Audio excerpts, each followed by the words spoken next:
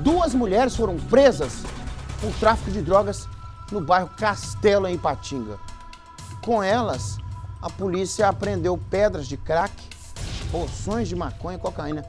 É, quando tem ocorrência envolvendo mulher, a gente fica mais entristecido ainda. Mas eu vou chamar uma amiga, Gisele, que é mulher repórter, e vai trazer essa informação pra gente. Boa tarde, amiga Gisele, você tem informação? Boa tarde, amigo Nico.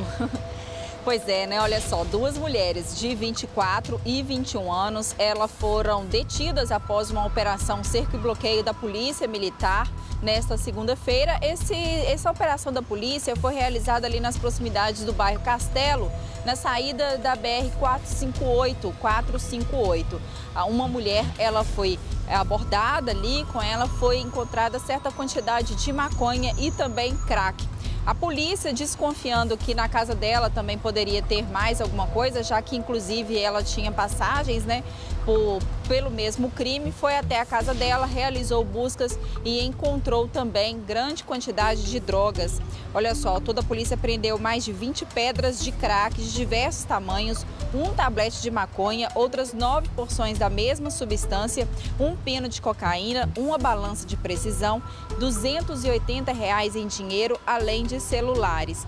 Uma outra mulher que estava nesta residência também foi encaminhada para a delegacia civil. Então, além de todo esse material apreendido, duas mulheres foram conduzidas para a delegacia para explicar né, de onde vem toda a quantidade destes entorpecentes. Nico, volto que, com você. É, que lamentável, né, Gisele? A gente falar de mulheres envolvidas nesse treinada, né, nesse trem errado, né? Sabe que isso não nunca vai dar certo. Ah, der certo hoje, deu amanhã, mas uma hora dá pau, uma hora dá errado, né? É, a pessoa fica subjugada aí, discriminada, vai responder processo, tem que gastar com advogado. É a famosa correria morta. Mas hoje, Gisele, o segundo boa tarde que eu te dei aqui, ele tem um objetivo cristalino, viu? Pode tirar essa imagem da tela aí, Jarão, para mim. Mostra a Gisele aqui.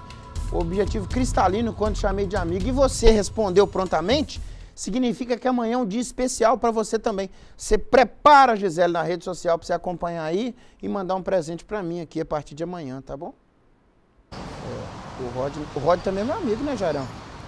É, aí, Gisele, você junta com o Rod né, faz um bem bolado aí e canta o Pix. Meu Pix tá facinho. Daqui a pouco a Gisele volta. Ela fica ali, é, eu vou falar nada não. É, ela é boa.